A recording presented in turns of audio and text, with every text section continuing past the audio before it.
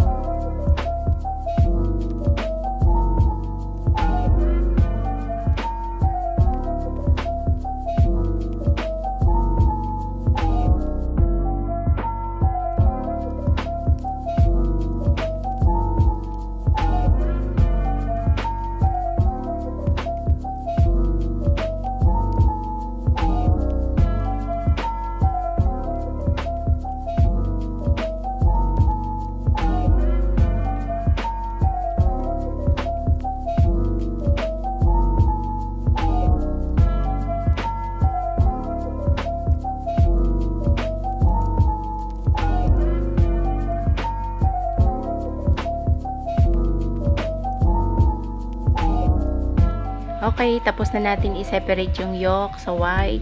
So, ilalagay na natin ang ibang ingredients. Evaporated milk.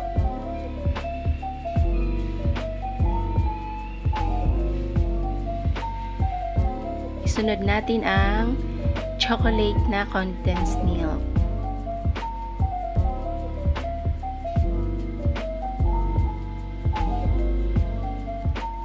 At isang pirasong Salain natin siya para hindi mailagay yung buto.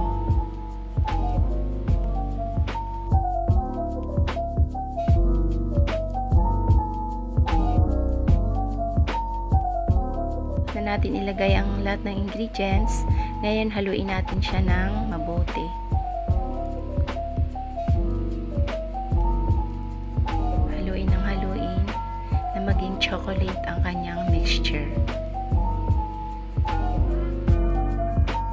Okay, dapat ganito po ang kalalabasan ng ating paghalo.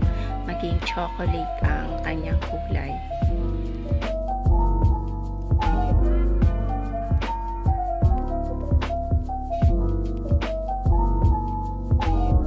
At pagkatapos, sasalain natin siya ng dalawa or tatlong beses para maging maganda ang resulta ng pagka-leche flan niya.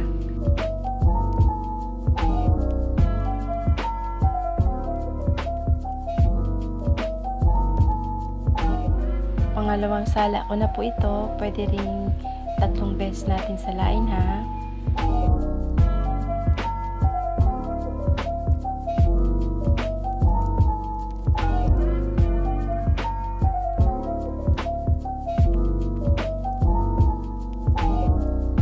Okay, tapos na po nating salain. Ngayon, maglalagay tayo ng tigda dalawang kutsarang asukal sa bawat lianera. At habang ginagawa natin kanina yung mixture ng leche flan, kailangan nagpakulo na tayo ng tubig sa steamer. Yung kulong-kulo talaga.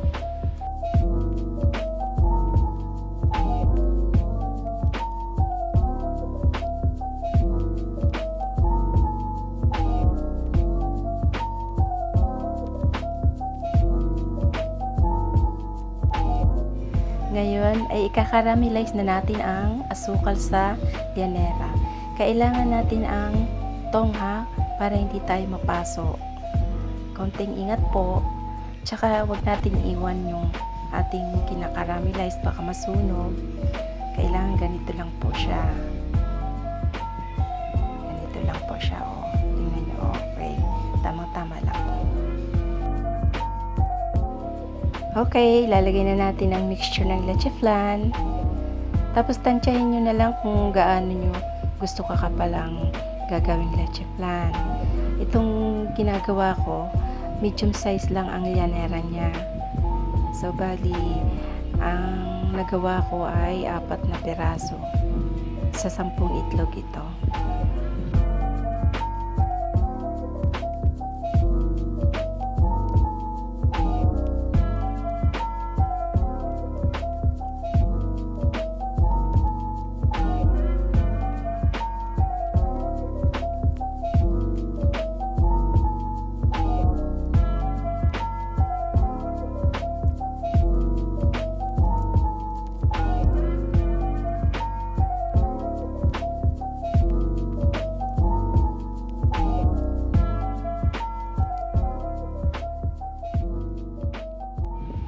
Pagkatapos, lagyan natin siya ng aluminum foil.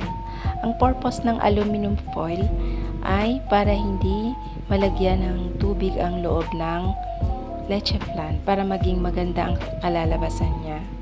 Hindi matuluan ng tubig. Dapat nakapix ang aluminum foil para hindi matanggal pag nilagay na natin siya sa steamer.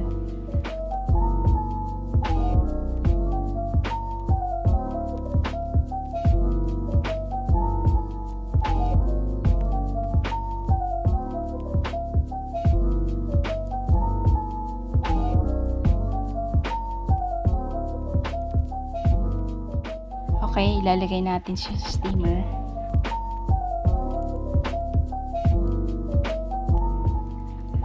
Ayan na, kumukulo na yung tubig. Ilagay na natin yung leche flan. Kailangan lutuin natin siya ng 30 minutes sa dahan-dahan lang na apoy.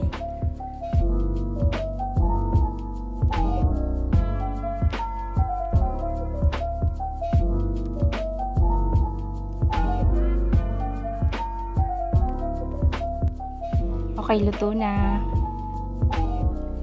Okay, tatanggalin na po natin yung leche flan sa llanera. Ito, napalamig na po namin to sa ref ng 30 minutes.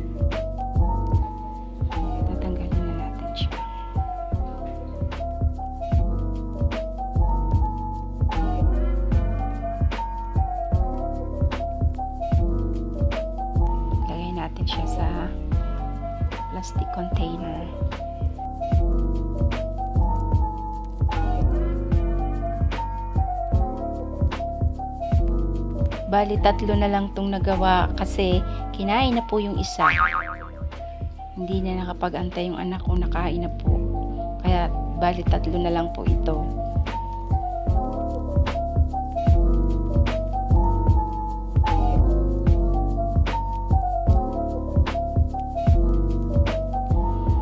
Ito, nilagay ko na sa container, sa plastic container.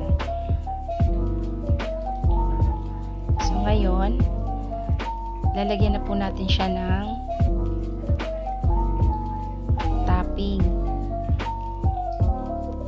Ito, ilalagay ko ay assorted nips. Kayo kung ano ang gusto nyong itopping. Pwede ring marshmallow or anything na gusto nyo. Chocolates or kahit ano kahit anong gusto nyong itopping. Ako, ang isusunod ko ay lalagyan ko siya ng cheese. Cheese ang itatopping ko.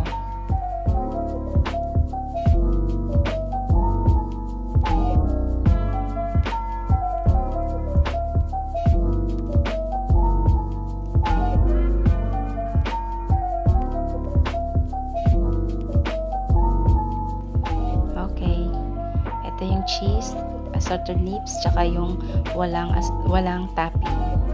Bali tatlo. Yung isa nakain na.